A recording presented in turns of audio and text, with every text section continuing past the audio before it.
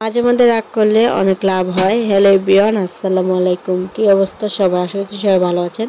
আপনাদের ভাইয়া দেখেন, আজকে শুক্রবার, তাই বৃহস্পতিবার রাতে আমার জন্য কি নিয়ে আসলো? আর এই যে বললাম না, রাগ করলে লাভ হয়। দেখেন, রাগ করছি দেখে দই কিনে আনছে আমার জন্য, আমার রাগ ভাঙানোর জন্য। আসলে আমি রাগ করে বেশিক্ষণ থাকতে পারি না। চেষ্টা করি রাগ করে থাকার জন্য, কিন্তু কেন জানি থাকতেই পারি না। কি আর করব? এখন আজকে রান্না করছিলাম পাঙ্গাস মাছ দিয়ে আলু দিয়ে, তারপরে কচু ছড়া নিয়ে এসে তারপরে নিয়ে এসে পুঁই শাক এগুলো কালকে সকালবেলা হচ্ছে রান্না বান্না করে হসপিটালে খাবার নিয়ে যাব। আর এখন সূর্য যেহেতু চলে আসছে, তাই এক পাশে অলক্রত বিছাইছি, আর এক পাশে চাদর যে পাশটা খালি, ওই পাশটা আপনাদের ভাইয়া আর যাইনে ঘুমাবে। তারপর যাই হোক, সকালে গ্যাস ছিল না, সকালে হচ্ছে দশটার দিকে আজকে শুক্রবার যেহেতু একটু দেরিতেই ঘুম থেকে উঠছি, তো ওইটা কারেন্টে রান্না বান্না করলাম, আর এখন সিএনডি দিয়ে দিয়ে চলে যাইতেছি ইবনে সিনা হসপিটালে। তো ইবনে সিনা হসপিটালে যাইতেছি আর আমার যা আর শ্বশুরের জন্য খাবার নিয়ে যাইতে খাবার নিছি কচু সরা তারপরে পুঁই শাক আর মাছের ভর্তা এই তিনটা আইটেম নিয়েছি। আর হইতেছে চা নিয়েছি আর যা যাও আছে, যাও রান্না করছি, যাওটা হইতেছে আমার ভাসুরের জন্য। এখন আসছিলাম হয়েছে দুপুরবেলা, দুপুর তিনটার দিকে। তো দুপুরে আমার শ্বশুর আর আমার যা, তারা খাওয়া দাওয়া করল, করার পরে তারা বলল যে খাবার আনা কি দরকার ছিল কিনেই খায় যেহেতু। আর বাসা থেকে তো বেশি একটা নিয়ে হয় না। মাঝে মধ্যে নিয়ে যায় আর কি। আর জায়ফা এদিক দিয়ে ঘুমাচ্ছে ঘুমো দিতেছে এখানে।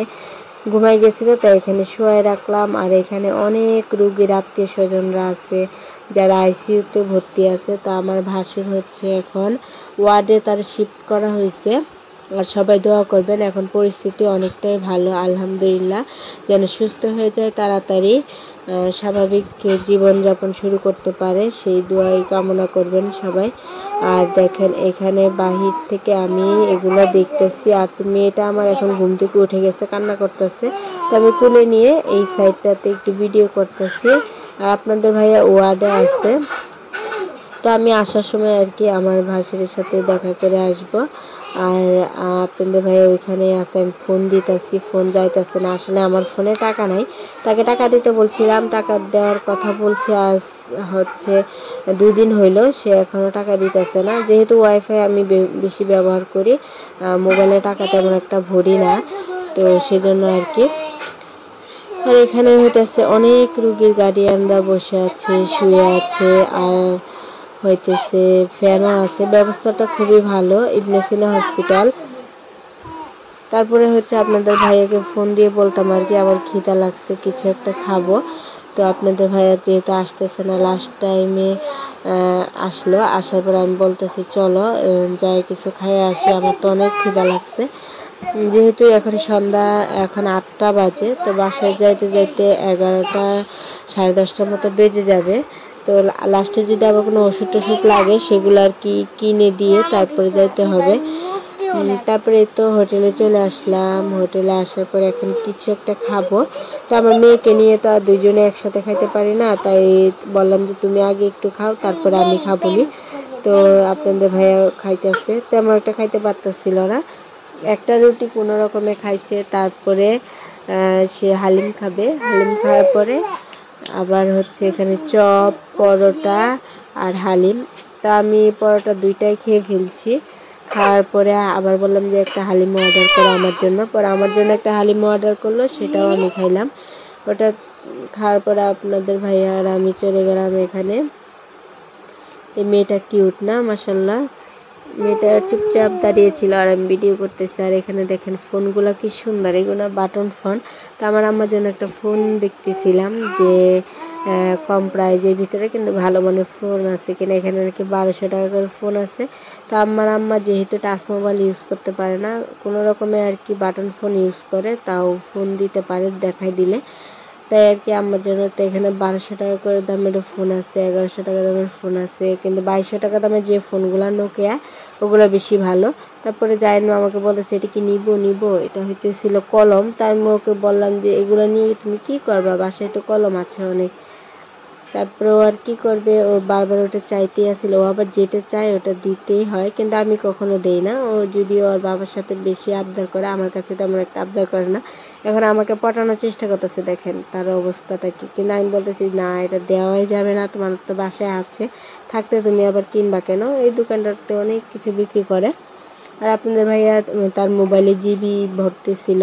তো আমাদের বাসায় ওয়াইফাইটাই ডিস্টার্ব হয়েছে। তো মেন অফিসে নাকি ধরে না।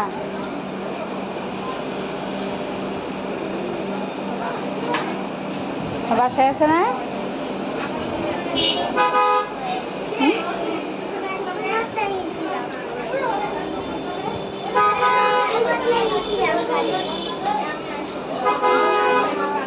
এখান থেকে বের হয়ে হসপিটালে গেলাম, গিয়ে বিদায় টিদায় নিলাম, তারপরে দেখা করলাম। দেখা শেষে এখন বাসায় চলে যাচ্ছি। ওবার চলে আসছে নিচে হসপিটাল নিচে ওবার এসে দাঁড়াইছিল, তারপর ওভারে উঠলাম। আর ওভারে উঠে এসিটা বন্ধ করে দিতে বললাম ড্রাইভারও একটু একটু ঠান্ডা, আর আমার একটু একটু ঠান্ডা লাগছে। তাই বললাম যে এসিটা চালানো দরকার নাই, ভাইয়া এসিটা বন্ধ করে দেন। এসিটা বন্ধ করে দিল, আর তো গ্লাসটা আটকায় রাখছি। গ্লাসটা আটকায় রাখছি কারণ একটু যেহেতু বাইরে ঠান্ডা আছে, তাই ভিতরটা এত গরম লাগতেছে না, খুব ভালোই লাগতেছিল। আর এখন এসি ওভারে উঠতে উঠতে অভ্যাস হয়ে গেছে, এখন আর মাথা টাথা ঘুরায় না আমার। তো যে কোনো জিনিসই অভ্যাস থাকলে সব কিছু ঠিক হয়ে যায়। আর এই যে হসপিটালে কয়েকটা ব্যাগ ছিল, ব্যাগগুলো নিয়ে আসলাম বাটি ছিল আর কি ব্যাগের ভিতরে। আগে যে খাবার টাবার দিছিলাম ওই বাটি হয়ে গেছিল। তো বাটিগুলো নিয়ে আসতেছি। আর একটু পরে আমাদের বাসার এখানে চলে আসছি। তো সবাই ভালো থাকবেন। দেখা হবে নেক্সট ব্লগে টাটা আল্লাহ হাফেজ। ঠান্ডাটা ভালো লেগেছে কাশিটা রয়ে গেছে। না রেসমিন ভালো হয়েছে?